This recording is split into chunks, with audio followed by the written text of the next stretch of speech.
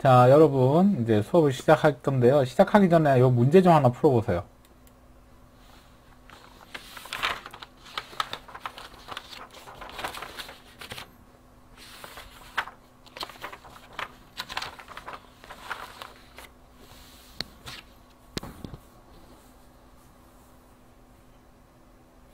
정답은 몇 번일까요? 지금 보면 중령 이북의 땅은 달라고 하죠. 이 사람이. 지금 고구려의 왕이. 이 사람이 보장왕이겠죠. 신하가 줄 수 없다 이런 식으로 얘기를 하죠. 1번 당을 몰아내고 삼국을 통일하였다. 이거 문무왕이고 성골 출신의 마지막 사람이다. 이건 진덕여왕. 자장의 건의로 상, 상용사 구축 목탑을 건립했다. 이건 선덕여왕. 4번은 신문왕. 정답은 5번이죠. 5번. 음, 정답은 5번입니다. 자 그러면 다시 넘어와서 음, 어, 어디를 피냐 의자왕을 봅시다. 음, 체어킹 음, 체어킹을 볼게요. 여러분 책 27페이지입니다. 음. 자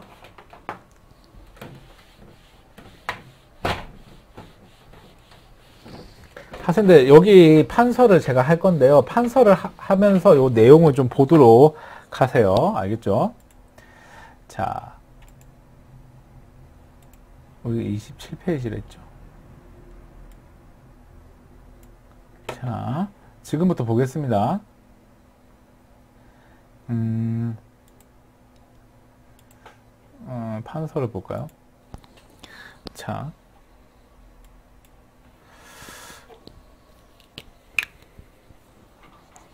자, 제목은 삼국 통일 과정이라고 쓰고 자 이때가 이제 태종 무열왕 시기인데 이때 당시 이제 왕이 의자왕이었어요. 의자왕은 신라로 따지면은 선덕여왕, 진덕여왕, 그 다음에 태종 무열왕까지 이렇게 거쳐가는데 이 의자왕이 이 당시에 이 해동 증자라고 불렸어요. 해동 증자. 이게 뭐 증자라는 뜻이 뭐냐면 이 뭐 쓸데없는 얘기인데 공자의 그 제자 중에 한 명이 그 증자가 있는데 이 사람이 효심이 깊었다고 해요. 근데 이 해가 동쪽에 있는 국가의 증자라는 얘기는 이 사람이 동쪽의 효심, 효자다 이 말이에요. 이 사람은 초반에 똑똑했어요. 그래서 막 대하서 함락시키고 하는 거 아니야? 그래갖고 이제 신라가 이것 때문에 이제 고구려랑 동맹을 맺는 거잖아. 자, 이제 백제 멸망. 백제가 이제 의자왕이 실정을 하는데 이 사람이 건방지면 몰락하게 됩니다. 대표적으로 고조선도 그랬죠. 전성기 때 오히려 다음을 생각하지 않고 건방 떨다가 망했죠. 성충, 흥수, 계백을 멀리했다. 뭐 쓸데없는 얘기지만 성충하고 흥수는 정치가고요. 계백은 군인입니다. 군인.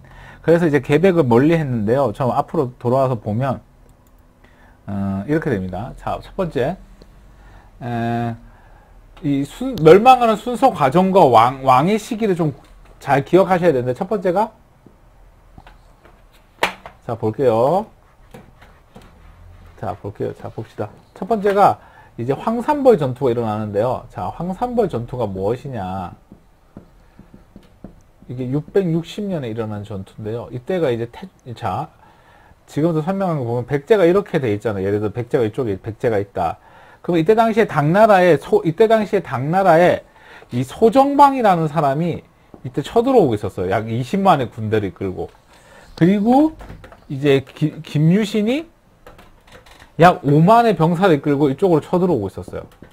근데 이때 당시에 이제 그 누구야 의자 체어킹이 논다고 이걸 계산을 못한 거야. 그래갖고 이제 개백한테 미안하다. 내가 놀아서 미안하다. 그냥 네가 나가서 한 번만 막아주면 안 되겠냐 하고 이제 개백한테 부탁을 하게 돼요. 그래가지고 이때 당시에 개백이 자기 아들과 딸 4명을 죽이고 이제 전쟁에 나오게 되는데 그거를 이제 그림으로 그리, 이제 영화로 만든 게 있어요. 그게 바로 이 황산벌 전투라는 영화입니다. 이분이 계백이고 이게 황산벌 전투인데 저도 이 영화를 영화관에서 봤던 것 같은데 모르겠어 영화에서 봤나? 잘 기억이 안 나는데 요게서 요거로 시작해서 요거로 끝나는 영화인데 이 황 전라도 분들이 이제 쓰시는 방언 중에 거식이라는 단어가 있어요. 아따 그 시기 해볼래. 막 이렇게 얘기를 한단 말이에요. 나도 군대에서 이거를 맨날 이제 그 대학에서 얘기로 듣다가 진짜 군대 가서 들었어요. 전라도 이 아따 그시기 해보네 하면서 막 이렇게. 근데 이러한 것들이 이제 이게 복합적인 언어의 뜻이에요. 뭐, 무슨 감정이 나쁘면 거시기 해보네, 좋아, 좋아도 거시기 해보네, 이런, 이런 얘기인데, 어찌됐든, 그, 이때 당시에 신라의 첩자들이 개백의 진영에 들어왔다가, 이제 거시기라는 게 작전명으로 알고, 이 김유신한테 보고를 하는데, 보고를 하게 되는데, 이 김유신이 그 얘기를 듣고, 뭔가 수상하다. 뭔가, 이 거시기에 뭐가 있다 해가지고, 뭐, 1시간 20분 동안 거시기 분석하는 것만 이제 나와요. 근데 이 영화 황산벌은 이제 어떤 거냐면 이런 거였어요. 그냥 이거는 보기로 나오니까 듣기만 하세요. 이 황산벌 전투에서 계백하고 김유신하고 한 네 번 붙었는데 다 김유신이 졌어요. 근데 이제 이때 당시에 김유신이 그, 백, 그 병사들의 사기가 너무 떨어져 있는 거예요. 왜냐하면 자기들은 5만이고 저쪽은 5천인데 우리가 계속 지니까 상대적으로 이제 많은 쪽에 겁이 날 거 아니에요. 그래서 김유신 장군이 했던 정, 방법 중에 하나가 자기 부하, 그러니까 젊은 화랑을 적진에 뛰어들어서 죽게 만드는 전법을 써요. 그러니까 어린 병사들이, 어른, 어린 화랑이 가서 죽으니까 이 병사들이 보고 어떤 생각이 들었겠어요. 야, 저렇게 어린애도, 어리고 높은 사람도 나가서 싸우는데 나도 싸워야 되지 않겠냐 해가지고 이 사기를 올려가지고 이제 전쟁을 하려는 계획을 세운 거예요. 근데 이때 당시에 이 황산벌 전투에서 마지막으로 그 개백한테 뛰어들었던 애가 관창이에요. 그래서 이 관창이 뛰어들어가지고 이때 죽게 돼요.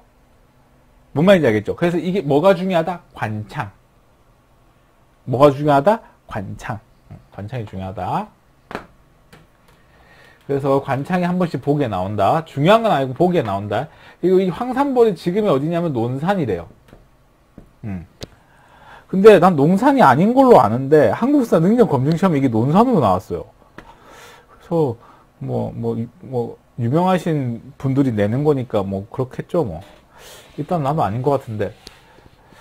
하여튼 이 황산벌 전투에서 이제 김유신이 승리하면서 바로 어디로 가냐면 백제 마지막, 마지막 수도였던 사비성을 함락시킵니다. 이때가 660년인데 시험에 사비성 함락이라고 나오면요 학생들 시험에 사비성 함락이라고 나오면 이건 뭘 의미하냐면은 이게 바로 백제 멸망이에요. 이 백제 멸망이 이제 660년인 거죠. 음, 백제 멸망. 그래서 백제가 멸망하게 돼요. 그리고 백제가 멸망을 하고 이제 여기다가 뭐가 설치되냐면은 웅진 도독부가 설치돼요.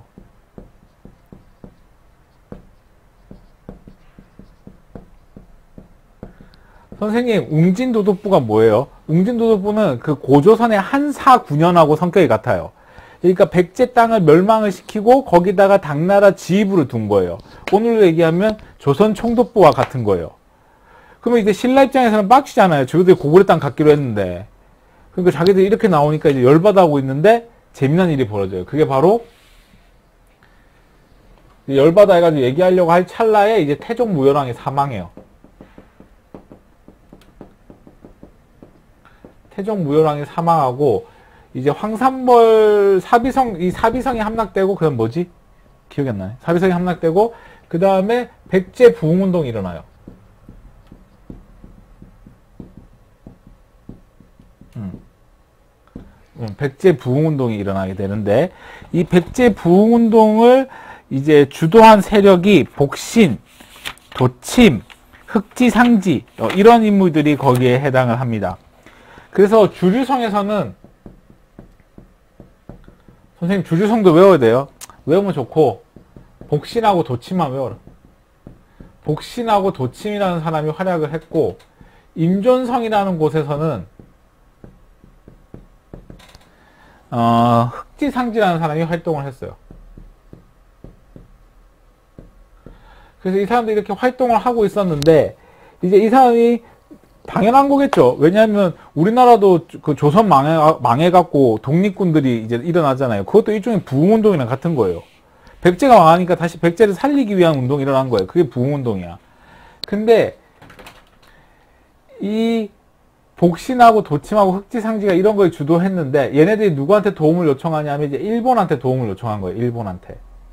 그래서 일본이 군함을 이끌고 오니까 이거를 핑계 삼아 그 이건 안 적어도 되는데 이제 당나라가 뭐 보기로 한 번씩 나오는데 거의 안 나와요. 신라 땅에다가 계림도독부를 설치해요.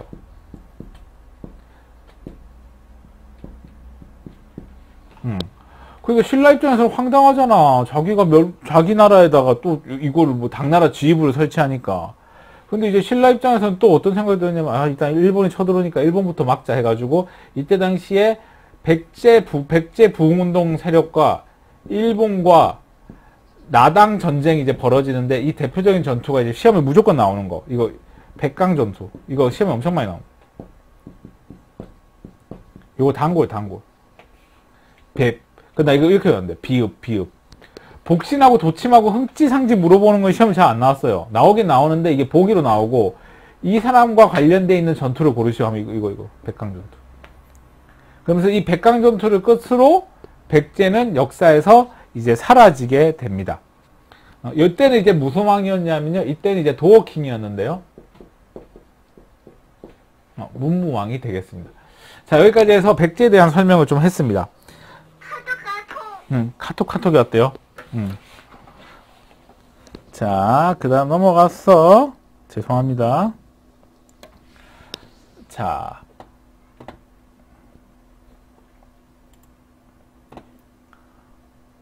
자, 학생들 지금 여기 보시는 게 부소산성의 그러니까 사비, 부여에 있는 부소산성의 낙화암입니다. 낙화암. 여기에서 이제 삼천궁녀가 뛰어내렸다고 하는 거예요.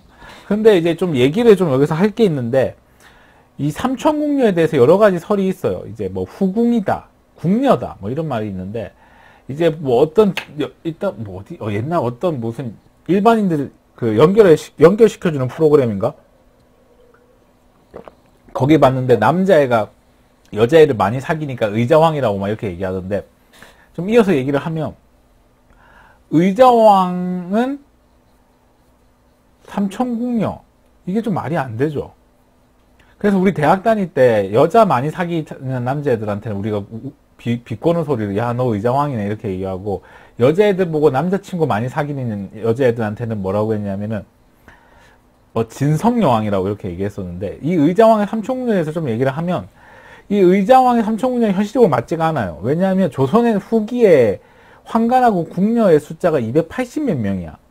그러면 백제는 그거보다 작은데 그럼 인구가 더 많을 수가 인구가 이때보다 작은데 더 많을 수가 없지. 인, 지금 땅도 작은데. 근데 문제는 뭐냐? 문제는 자 지금부터 문제는 뭐냐? 어 내가 봤을 때는 이 삼천궁녀 이제 뭐 후궁이라고 얘기하는 사람도 있어요 후궁. 근데 생각해보면 그렇잖아요. 봐봐요. 뭐 여학생들 중에는 자신들만의 스타일이 있을 거 아니에요. 좋아하는 스타일 그러면 누가 공유를 좋아한다 이러면은 어 나 공유 싫어해. 그런 사람 은 없잖아요. 왜냐면 공유는 신이기 때문에 누구나 다 좋아할 거 아니에요. 근데 뭐 예를 들어 이런 거야. 나는 옛날부터 서지섭 씨가 진짜 잘생겼다고 생각했어요. 근데 내 주변 대학교 애들 중에는 너무 인상이 강렬하다고 싫다고 하는 애들이 또 있는 거야. 그러면 이제 이어서 얘기를 하면 사람에 따라 그 사람을 대하는 호불호가 다르다는 이 말이겠죠. 그러면 여기에서 더 추가로 예를 들어 왕이 한 명의 여자를 만났는데 이제 가다가 한 바퀴 돌면 1년이야. 그럼 360명이겠지. 근데 그 중에 마음에 드는 애가 있어. 그럼 거기서 멈출 거 아니야. 그러면 한 바퀴 다 돌면 10년일 거 아니야. 그럼 이건 현실적으로 말이 안 되는 거야. 그래서 나는 이 삼천궁녀의 죽음은 내가 봤을 때 사비성에 살고 있는 여성 3천 명이 자살한 것 같아요. 왜 그렇게 보냐면 당시 이제 군대가 쳐들어와 가지고 여자를 강간하는 일이 빈번하기 때문에 아마 이 여성들이 그런 강간에 안 당하고 또, 또 죽을 수도 있잖아. 그 죽음을 당하기 싫어서 이렇게 한 것 같아요. 근데 이제 또 이어서 얘기를 하면 내가 여기 근처를 가봤는데 뭐가 있었냐면 이제 배를 탈 일이 있었어요. 배를 탔는데 이 백제 여성들이 지조와 절개를 지키기 위해서 뛰어내렸다 이렇게 얘기를 하는 거예요. 근데 뭐 물론 그런 사람도 있을 거고 아닌 사람도 있겠지만 뭐 되게 막 이게 추앙해서 얘기를 하더라고. 그래서 내가 가이드분한테 물어봤는데 이거 언제 녹음했냐니까 18, 1980년인가 90년 요때 녹음을 했다는 거야. 그러면 지금의 우리가 여성을 바라보는 입장하고는 전혀 안 맞는 거지. 왜 안 맞는 거겠어요? 지조와 절개를 지킨 여성은 되게 위대한 여성이고 그럼 그때 당시에 지조와 절개를 못 지킨 여성들 나쁜 여성인가? 그렇게 보는 거는 너무 잘못된 옛날 사고방식이에요. 그러니까 누구의 선택이 좋고 나쁘다의 문제가 아니라 그 상황에 따른 선택이잖아요. 그래서 이러한 것들이 좀 문제가 있지 않냐는 생각을 좀 해보고 그 다음에 요걸 한 개씩 볼게요. 학생들 요거 한능검에 나온 건데요. 잠깐 좀 보겠습니다. 첫 번째 이 정사함은 뭐 하는 데인지 알죠 학생들 정사함 여기가 뭐 하는 데냐 여기가 뭐 하는 데겠어요? 학생들 천정대 정사함 여기서 귀족회의기구죠 부소산성은 뭐예요? 부소산성. 여기가 아까 나, 삼천궁녀가 뛰어내렸다는 곳이죠. 정림사지 5층 석탑. 여기 석탑 보이죠? 여기에서 소정방이 시를 적었다고 했죠. 그 다음에 능산리 고분군에서는 백제 금동 대학로가 나왔습니다. 다시. 여기에는 정사암 회의, 부소산성에서는 삼천궁녀 다이빙, 정림사지에서는 그 백제 탑, 그 소정방에 정복한 탑이 있다고 했죠. 부여 정림사지 5층 석탑. 능산리 고분군에는 백제 금동 대향로가 있다고 이렇게 얘기를 했습니다. 자, 그 다음에 사택 지적비 볼게요. 학생들 사택 지적비에 내가 좀 틀리게 적었더라고. 이몇 네 페이지야? 유교라고 적었는데 이걸 도교로 바꾸세요. 이렇게 도교. 음, 이것도 도교의 하나고. 자, 백제 부흥운동. 복신, 도침, 흑지상지가 왕자 부여풍을 추대하여 왜 부연지는 알죠? 백제 왕족은 부여씨죠. 그래서 이렇게 활동을 했지만 이거 줄 백강전투에서 패배했다. 자, 그 다음에 넘어가서 이제 고구려 멸망 볼까요? 자, 고구려 멸망.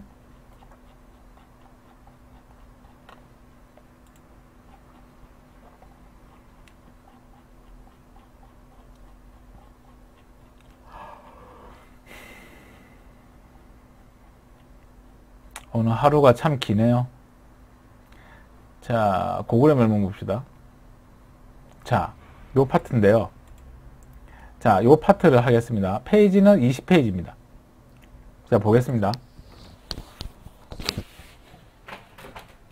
요거는 싹 다 지울게요. 음. 요렇게. 일단 문무왕 시기로 볼까요, 그러면?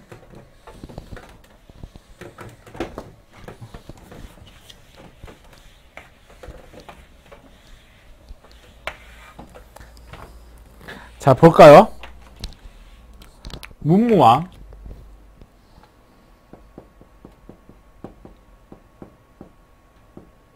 자, 문무왕 시기를 볼게요. 첫 번째.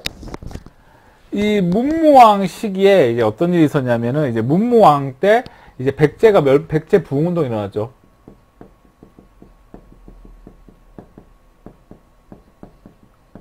음, 백제 부흥 운동이 일어났어요. 그리고 백제 부흥 운동이 끝나고 나서 이제 고구려를 공격해서 고구려가 멸망하게 돼요. 이게 660년이에요. 668년. 음. 그래서 이때 당시에 고구려가 멸망하게 되는데 이 고구려가 멸망해서 당시의 사회를 좀 생각해 볼 필요가 있는데 이게 왜 그러냐면 내부 분열이 있었어요. 연개소문이 죽고. 그래서 내부 분열이 있었는데 연개소문의 동생이었던 연정토라는 애가 있었는데 그 연종토, 동생이죠, 동생. 그 다음에 그 밑에 이제 자식들이 있었는데, 이 자식들은 어떤 애들이 있었냐면은, 이제 연남생.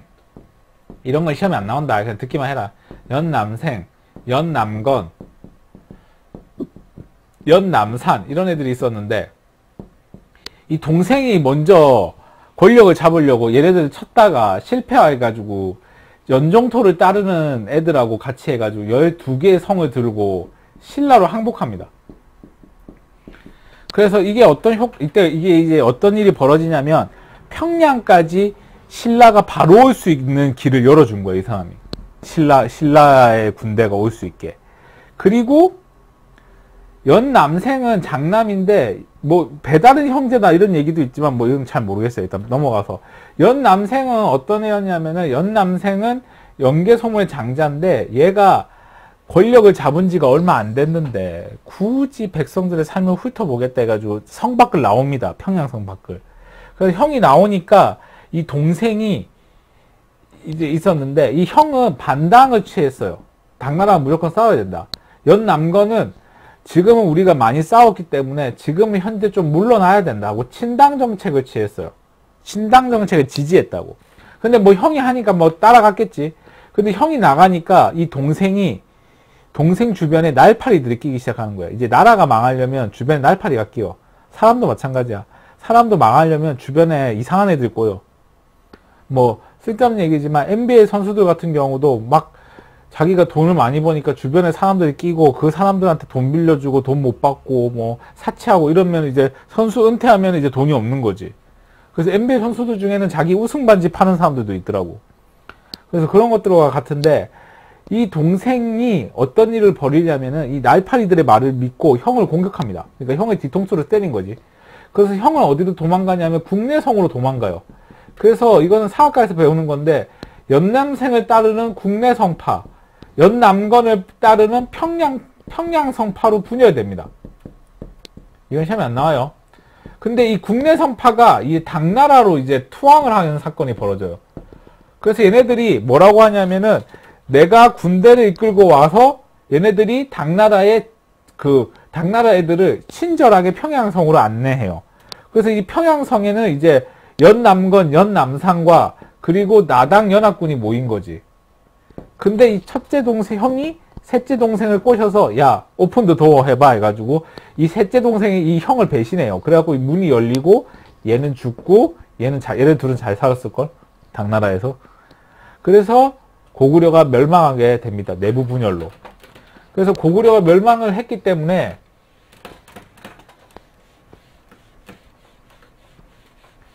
이 고구려가 멸망을 했기 때문에 고구려가 멸망을 하고 이 고구려가 이제 어떻게 되냐? 고구려 부흥운동이 전개되죠. 음.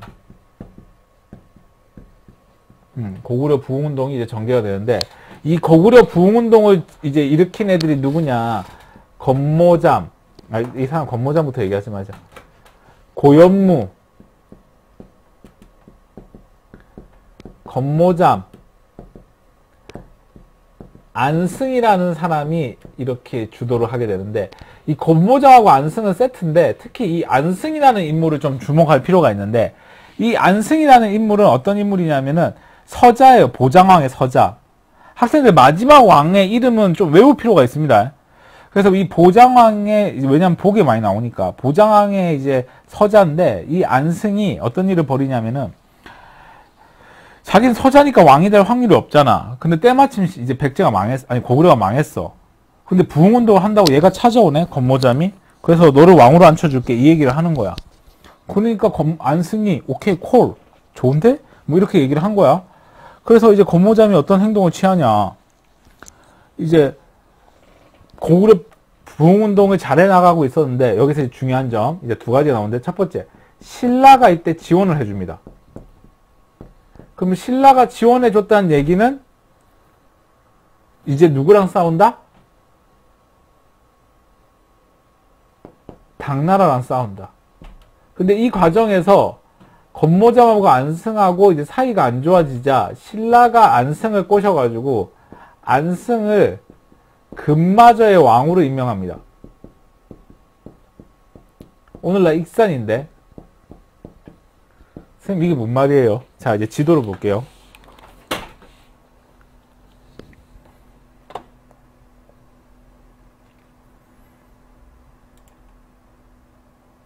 자 지도를 볼게요. 지금 학생들 보면 이 지도가 나와 있는데요. 지금 보면 복신 도침하고 흑지상지는 백제 땅에서 부흥운동을 주도하는 걸 알 수가 있어요. 건모잠하고 고연무 역시 고구려 땅에서 주도하고 있는 걸 알 수가 있어요. 근데 때마침 얘는 뭐야 그러면? 얘는 고구려 부흥운동인데 왜 백제 땅에 있냐고 내 질문은. 그 얘기는 뭐냐? 임마 이 안승이 건모잠을 죽이고 신라로부터 이 금마저라는 땅을 얻게 돼요. 그러니까 배신하고 자기가 왕이 된 거지. 근데 이게 시험에 뭐가 나오냐? 익산 미륵사지와 세트로 나온다고. 그러면 익산 미륵사지를 공부할 때 익산 미르사지를 공부할 때 뭐도 같이 공부해야 돼요. 고구려 부흥운동의 안성도 같이 공부하셔야 된다고. 이게 포인트입니다. 알겠죠? 음. 자, 그 다음 넘어가서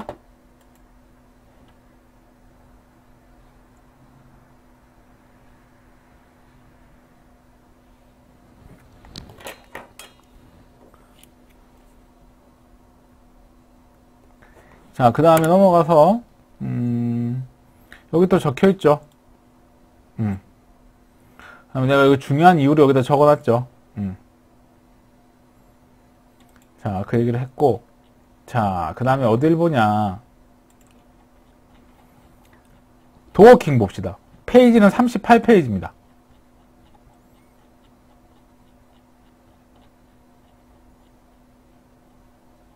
도어워킹 자 도어킹인데요. 자 보겠습니다. 자 고구려가 고구려 부흥운동이 이제 일어납니다. 고구려 부흥운동이 일어나면서 이제 나당 전쟁이 일어나게 되는데 그 나당 전쟁 여러 가지 전투 중에 이제 제일 큰 전투가 이제 매소성 전투예요. 이게 경기도 지역이고 그 다음에 기볼포 경기도 연천이고.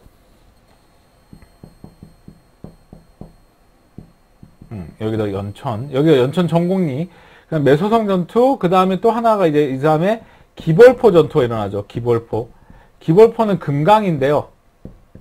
이 두개 공통점은 이제 660년에 일어난 600 아, 676년에 일어난 전투죠. 요거는 675년. 요거는 676 676년. 이 두개 공통점은 나당 전쟁이제. 그래서 학생들 요 두 개는 외워야 돼. 요거는 요거는 유명한 전투가서 이때 완전 신라가 10만, 20만 다 깨버리거든. 물론 고구려 백제인들의 도움도 있었지만. 그래서 이제 성공을 하고 이제 삼국이 통일되는데 그게 바로 이제 삼국 통일. 그게 676년. 음. 그래서 요, 이게 다 이때가 이제 문무왕 시기. 요 시기 아, 안 보이겠네요, 학생들. 음. 자, 매소송 전투는 경기도 연천, 그 연천 전곡리 그 얘기를 했고 기벌포는 금강, 그 다음에 나당 전쟁, 요 시기를 나당 전쟁이라 하고 이제 삼국이 통일되게 됩니다. 그래서 이 삼국이 통일됐기 때문에 이 이제 삼국 통일을 이제 신라가 하게 된 거죠. 요렇게. 음, 요거 중요합니다. 음. 자. 그리고 내가 이, 보, 이 책에 보면은 삼국통일 순서를 이렇게 적어놨어요. 음, 요렇게. 어, 요거를 꼭 기억하시면 되겠습니다. 다시 한번 복습할게요. 황산번은 660년, 이것도 660년이에요. 백제가 멸망을 했는데 이 백제 멸망을 다른 말로 사비성 함락이라고 할 수도 있죠. 음. 그 다음에 백제 부흥운동. 백제 부흥운동의 대표적인 전투는 백강 전투. 고구려 멸망, 고구려 부흥운동, 매소성 전투, 기벌포 전투. 요거 시험에 나옵니다. 음. 자, 그 다음에 또 다른 걸 좀 보면, 이때 당시에 문무왕은 외사정이라는 걸 설치했어요. 요거 내가 외사성이라고 해놨을 거예요, 아마. 이거 고치시고, 요거 적으세요. 지방관을 파견했다. 지방의 감독관을 파견했다.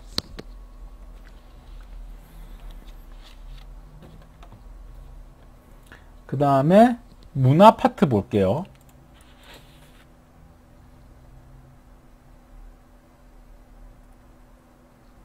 자, 학생들 여기 문화에 보면 이게 대왕암인데요.